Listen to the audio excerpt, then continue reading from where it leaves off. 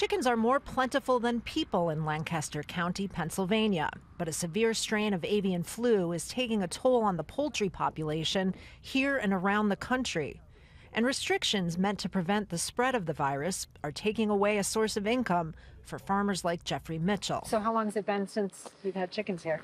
It was January 27th when the last of them left. He sells his birds for meat. His four chicken houses are currently empty.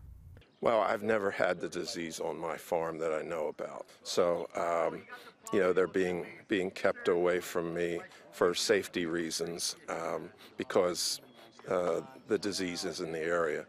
Uh, it's in the quarantine area, as am I.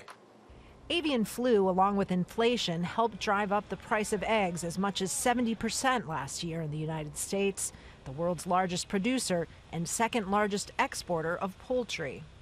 The virus is carried in the droppings of migratory birds. This latest variant has not only spread like wildfire among poultry, it's also been found in mammals as well, raising the specter of a human outbreak.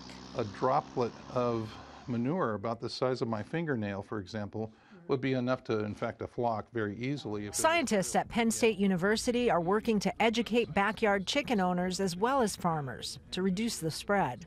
Humans should not be worried simply because only 2% of our population is actively working in agriculture. And so the majority of our, our public are consumers of our poultry and eggs, and those uh, are safe because they're inspected before they're put out into the supermarkets. I think for us, the worst case scenario is seeing this continue to spread.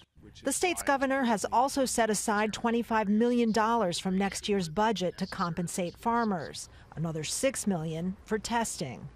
But as this latest strain of avian flu shows no signs of abating, some in the industry say vaccinating chickens should also be on the table. You know, since 2015, a number of different outbreaks, uh, billions of dollars spent on indemnification, um, you know, 100 million birds uh, put down.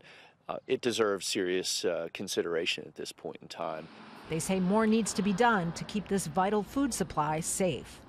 Kristen Saloomey, Al Jazeera, Lancaster, Pennsylvania.